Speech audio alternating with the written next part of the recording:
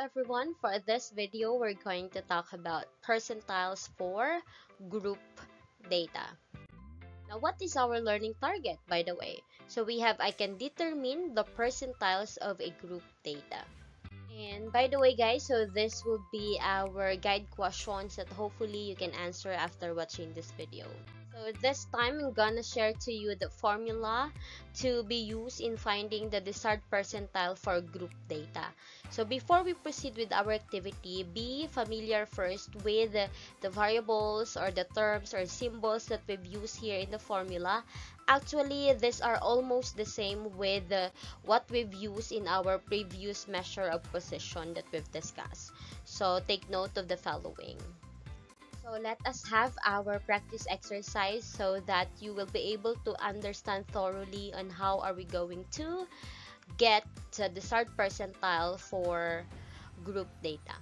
So for our first problem guys, let's gonna use this given frequency distribution table. So um, before we start with that, take note that if in case we don't have the FDT yet or the frequency distribution table is not yet given, of course, we really need to create our own frequency distribution table based on the preferred class given. But here, fortunately, the FDT is already given and with that, we can now um, proceed with the computation itself of our desired percentile for group data. Now here, let's gonna start with P of 10. So before we proceed to the formula itself of our percentile, so let us complete first the third column of our FDT because this is uh, very necessary as well for our formula afterwards. And at the same time very necessary in our first step in finding the uh, value of our desired percentile. So we need to um, fill in this first. So I know you are particular already or you know already on how are we going to come up with our cumulative or less than cumulative frequency column. Now, we really need to have this less than cumulative frequency column because this is where we are going to base later on our P of K class. So like for example, let's start solving first um, the location of our P of 10. So let us substitute first in our formula K n divided by 100. So by the way, again to be specific, our formula to find the P of K class would be Kn divided by 100.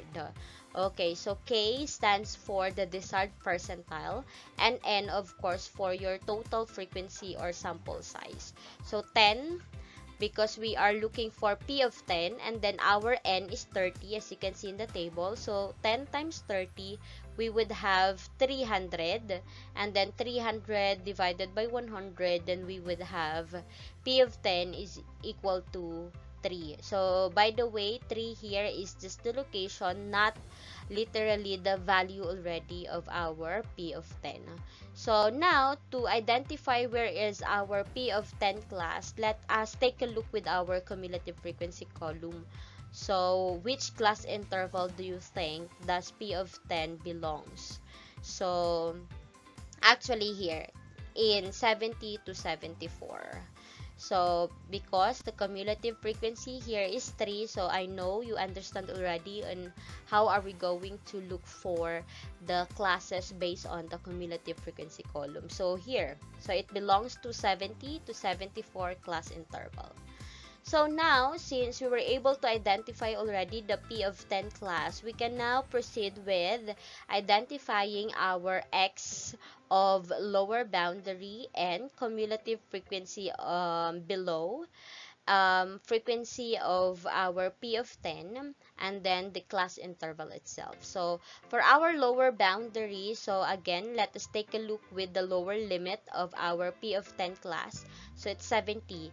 Let us just deduct it always by 0.5 and with that we can have 69.5 and for our N we do have 30 And for our cumulative frequency below or before our P of 10 class, as you can see here, below or before, there's nothing. Since 70 to 74 is our lowest class interval. And with that, we can simply put a zero if this is the scenario. And frequency of the P of 10 class, so here, I highlighted so that we can easily um, identify or we can focus with the P of 10 class itself.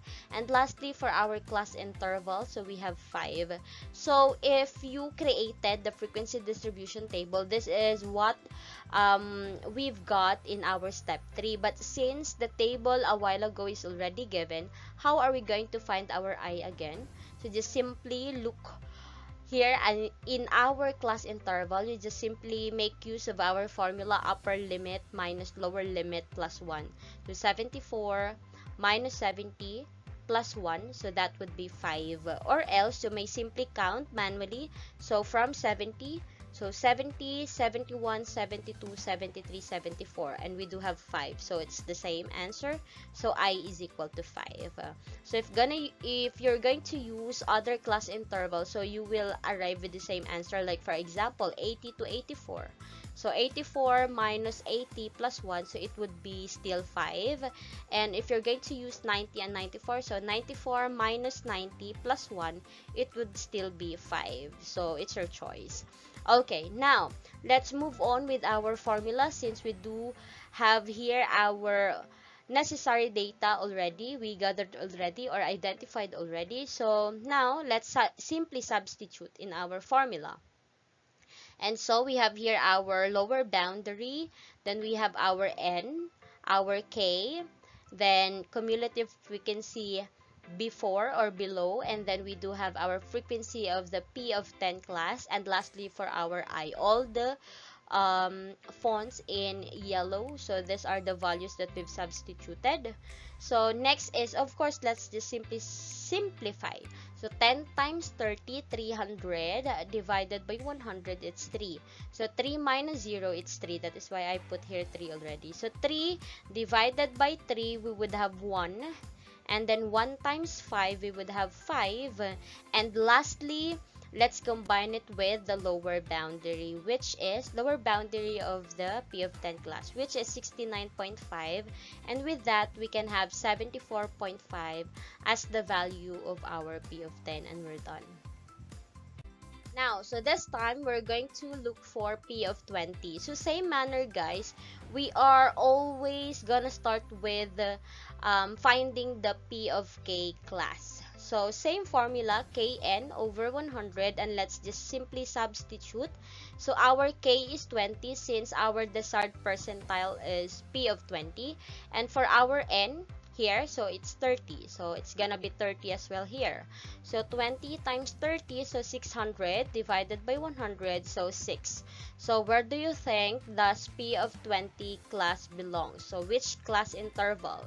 So looking at our cumulative frequency column do you think it belongs to this one? So the the one with the less than cumulative frequency which is 3 so actually no. So here 8 so if it's 8 therefore um, this comes from 4th rank up to 8th rank, then we can say that 6th rank belongs to this class interval. And with that, let us put highlights so that we can focus with this class interval. Okay, now since we were able to identify already our P of 20 class, we can now proceed with the necessary details for our formula. So lower boundary of the P of 20 class, so our lower limit is 75. So you just simply deduct by 0.5. We would have 74.5. And the N, we have 30 again. Cumulative frequency before, so or below our P of 20 class, so it's 3. So here it's 3. And frequency of the P of 20 class, so it's 5. And lastly, for our class interval, so a while ago we get 5. It's the same data here. So it's 5.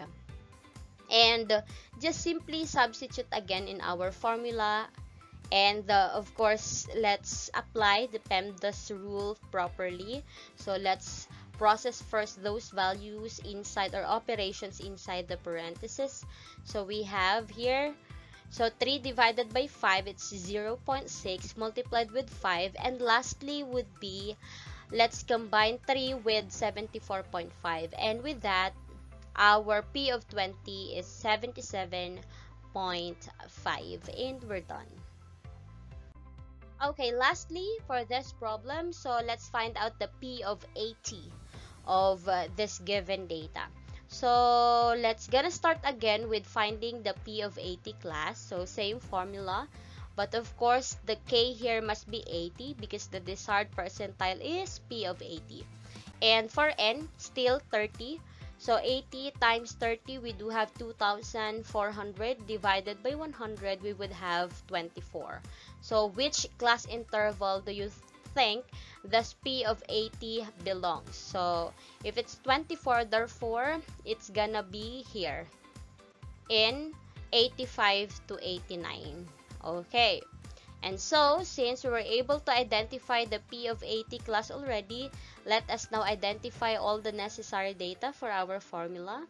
So, here's the data already and let's simply substitute in our formula again and apply the um, PEMDAS rule properly and uh, here we go. We have 4 divided by 8. It's 0 0.5 multiplied with 5. We would have 2.5. And lastly, combine it with the lower boundary of the P of 80 class, which is 84.5. And with that, we can have 87 as the value of P of 80. And we're done. Now, let's try another problem, but this time, I would like you to do it on your own. And uh, you resume watching the video if you are done with your answer already for checking. So here's the problem. Luckily, we do have our frequency distribution table already. So now you can proceed with the computation itself of your desired percentile. So base here in our problem.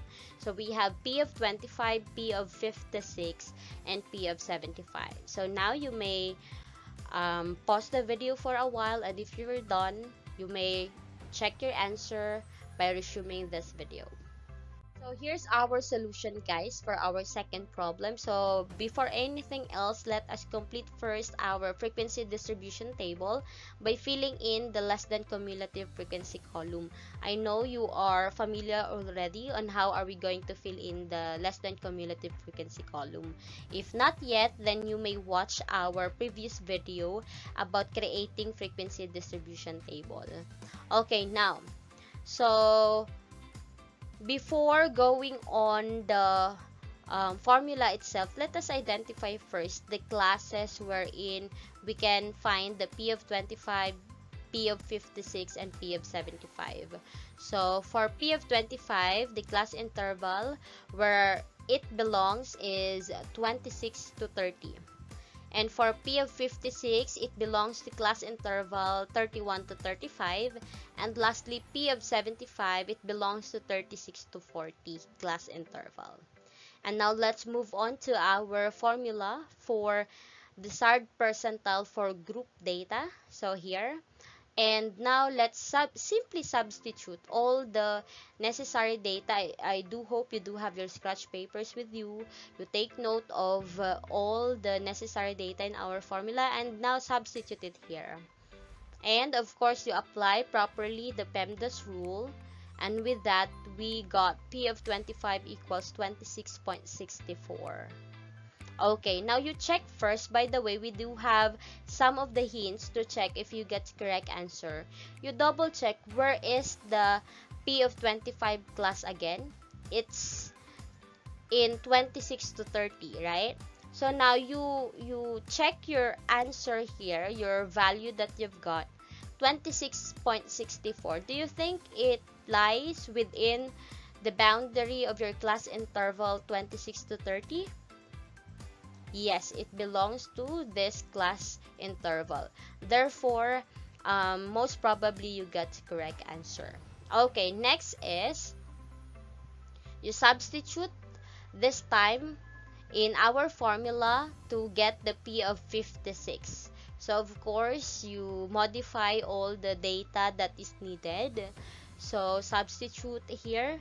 So we have uh, apply the PEMDAS rule for the next step and then simplify properly.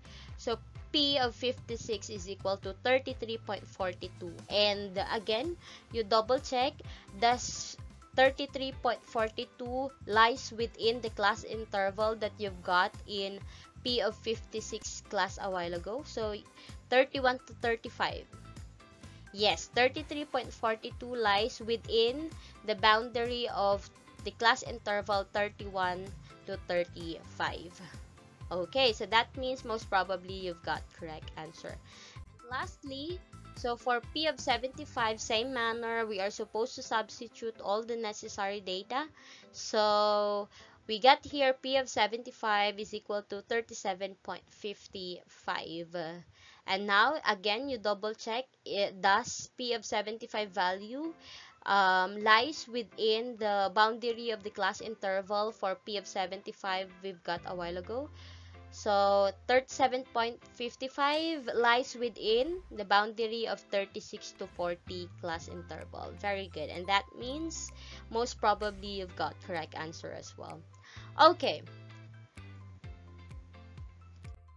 So that's it for this video. Thank you so much for watching. I do hope you learn about how are we going to solve for the percentile for group data. So, see you on our next video lesson and thank you so much again for watching.